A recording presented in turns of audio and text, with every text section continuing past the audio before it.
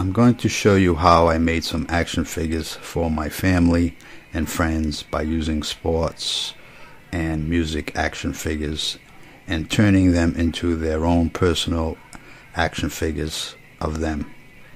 You will see football, high school, college football, and semi-pro. You will also see basketball, baseball, cheerleading, and a rock band. It's not as hard as you might think. Painting them is the hardest. Using a computer to make mini logos that gives them a professional look about them. The first action figure is of my son who played college football. Here I used Deuce McAllister's action figure as my model. It was a close figure for what I needed. Here is how it turned out. The insert was made using a photo editing program. Next I purchased plastic protectors from eBay. They were about a $5 a piece and they come in make everything look real well once your action figure is mounted inside of them. Either put them on a shelf or they'll fit on a wall. Here is the finished product.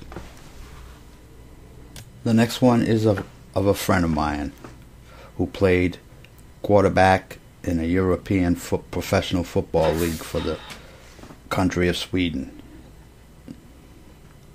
For his figure, I used Jake Plummer.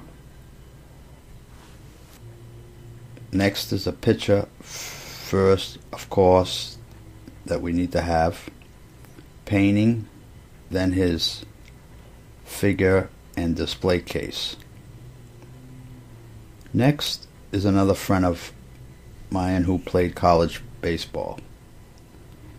His pitcher, then his figurine, and finished in a protective case, as you can see. Here is my daughter-in-law, who was a college cheerleader. Of course, I made one for her. Next is the hardest ones to make, and that is one of my sons playing high school basketball. It's hard because of trying to make a person's face to match. Next up is a team set. This I bought cheap because it was already three years old. It was uh, of the New York Giants, I believe, 209 Super Bowl team. So I decided to convert it to my local high school team. I had no relatives or friends on the team. I donated it to the team. I think it came out pretty good, and they were happy. Now for the hardest one to make, and hopefully you will see why. As a youngster, I was in a rock 60s rock band called the Tangerine Zoo. We did well, but not well enough to have our own action figures.